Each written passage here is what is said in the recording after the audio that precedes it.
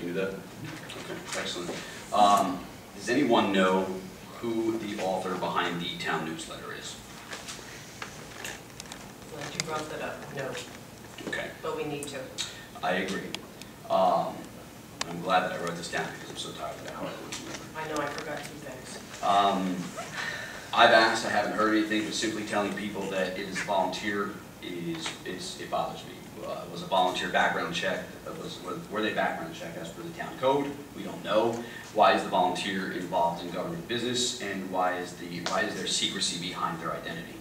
I uh, would like for this governing body to uh, pass a resolution requiring the mayor to tell us who this volunteer is, disclose who this volunteer is. It's not a town, it, it, it comes off as a town publication. And it's, it's without a doubt politically slanted and factually incorrect on many levels. Um, with what appears to be the norm in the dissemination of confidential information, uh, I believe that the governing body should have the opportunity to review it before it's released. It's not a town publication, as I've said, but if the mayor's office continues to represent it as if it were, we should at least have the opportunity to review it. Um, And if this behavior does persist, I would request that the town attorney investigate the publication and its content pertaining to our code of ethics. Can we pass a resolution? Should I just email?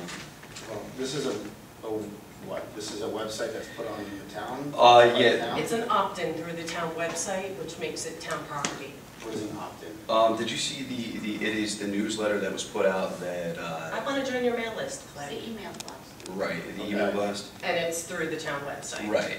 Which Okay. means if a town employee is not the one generating Not only it, that, it's politically slanted. I mean, it was, it was, it's a pure political piece.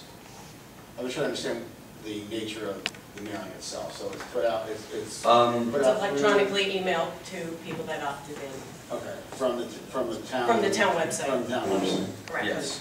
Right. But if he wants to rename it to, you know, his point of view, I'm certainly okay with that. But it can't go through the town website. Okay, all right, but if it's, is it No. titled, like, the mayor's, It's illegal. like, mayor's corner? No. It's called Phillipsburg Riverfront News. No, it says the mayor worked on this, the mayor worked on that, the mayor worked on this.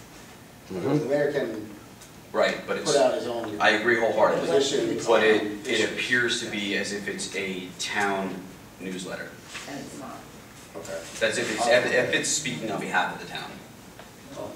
Okay. It Right. also released the information that was distributed in executive session, Uh-oh, so that's a Wow. little bit of a problem. hammer time. Ethics charge. Came up on ethics. Thank you. How about, Um, how about recall?